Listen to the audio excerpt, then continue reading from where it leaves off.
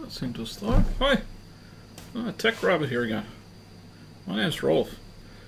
Um, I would, uh, in this video I'm just going to go through what would one need in terms of basic tools and accessories if one's going to um, upgrade or build a PC. Um, so I'm actually in the process of doing that for the channel right now. So anyway, let's start and have a look at some of the stuff. So anyway, the first item that I have on the list is this anti-static strap. And basically what you do is you take it and you put it on one of your arm, one of your hands so that the metal strip actually touches your skin. And then the other end, this should be set into something that's grounded. And in Europe we have like outlets that look like this. And we have, very conveniently, we have a grounding strip on the outlet. So then you can just connect it to the grounding strip and then you're pretty much guaranteed to have, have to know that your body is grounded and that prevents the voltage between the part you're touching and, and um, your body.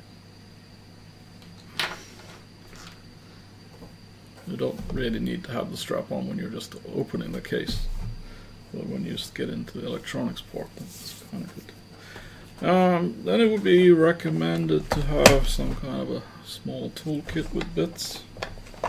I have a Bosch set here, pretty generic. I mean, you can have any brand. Doesn't really matter. Um, then you can have one of these or similar an electrical driver. I recommend that you make sure that it has a light in it. Because, you know, PC corners can be a bit dark. Now, uh, if you're doing a PC for the first time, you're not sure how much torque, how much things can be tightened or uh, in that way, um, then I recommend that you avoid using these because you can actually very easily over tighten things. So in that case, I think that one should, you know, move to a more generic screwdriver. And also I have a screwdriver here where you can um, change its length, you know, depending on how much access one needs to different areas.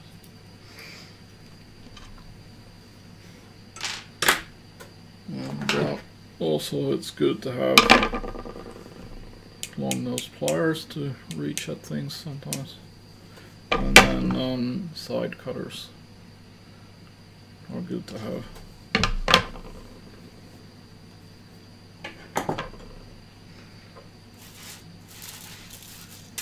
And um, we have these, which are zip ties or tie ties, or many different, even in English, many different names around the around the world. But I mean, basically, you can put them through there tie cables up and stuff. Uh, it's it's um, you'll have to see uh, based on what you're doing if if you'll need these or not.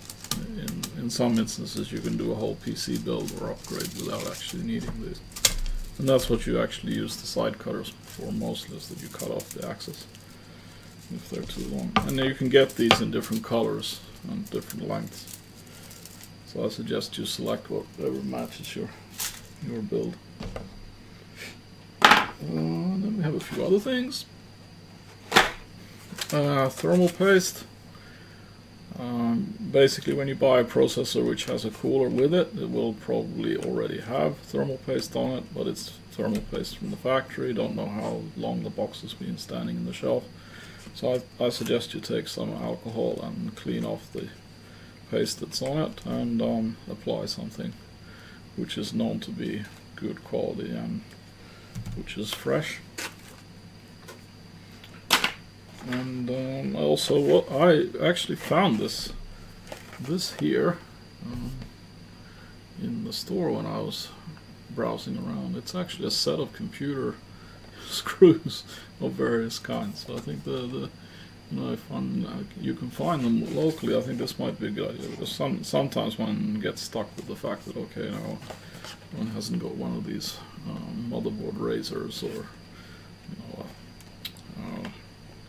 you want to put a hard drive in, and then none of the uh, hard drives come with screws anymore, or most of them don't.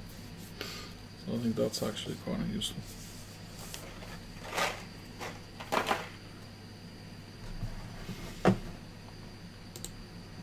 So anyway, I wasn't gonna make this video into a very long one, but I just thought it was good to um, show the stuff that one needs. Maybe it's not so obvious for people that usually don't work on um, uh, PC upgrades.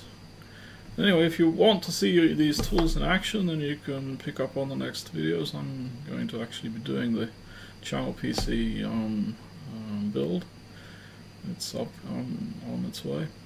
And um, yeah, and you can see how the tools are used and applied.